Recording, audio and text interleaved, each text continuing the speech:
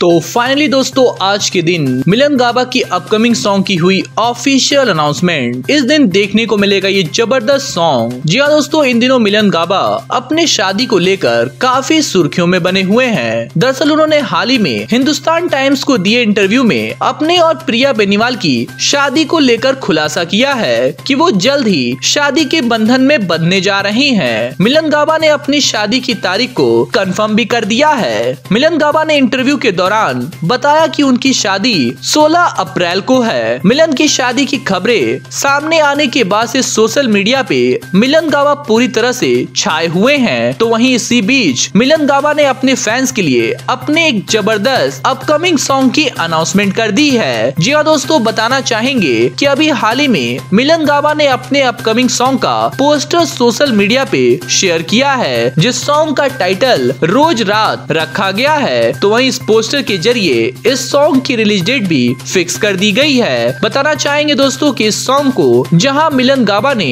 अपनी शानदार आवाज़ दी है तो वहीं सॉन्ग के लिरिक्स लिखे हैं असली गोल्ड और मिलन गाबा ने मिलकर तो वहीं सॉन्ग को डायरेक्ट किया है डायरेक्टर शाबी ने, जो कि काफ़ी बेहतरीन सॉन्ग रहने वाला है। बात आती है दोस्तों इस सॉन्ग की रिलीज़ डेट की तो इस सॉन्ग को 17 मार्च 2022 को रिलीज़ कर दिया जाएगा। टी सीरीज़ के ऑफिशियल यूट्यूब चैनल पे। तो दोस्तों, आप कितना एक्साइटेड है मिलन गाबा के अपकमिंग सॉन्ग रोज रात को सुनने और देखने के लिए कमेंट में ज़रूर बताएँ। वीडियो अच्छी लगी हो तो वीडियो को लाइक कर दें और ऐसे चटपटे गॉसिप न्यूज़ देखने के लिए हमारे चैनल गॉसिप वाला को सब्सक्राइब भी कर लें।